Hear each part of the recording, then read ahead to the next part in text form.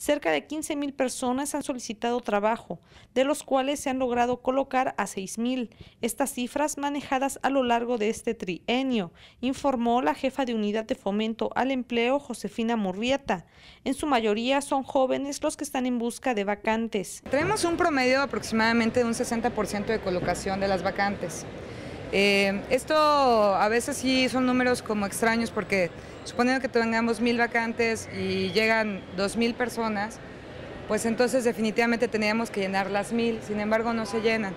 Este es un indicador de que evidentemente nos falta capacitación en el capital humano. En la última feria del empleo realizada por el Ayuntamiento de Jalapa se están ofertando más de 1.200 vacantes y al día hay más de 1.000 solicitantes. La verdad, eh, Jalapa es una ciudad estudiantil, entonces definitivamente la mayoría de la población que está demandando puestos de trabajo eh, son estudiantes, son jóvenes.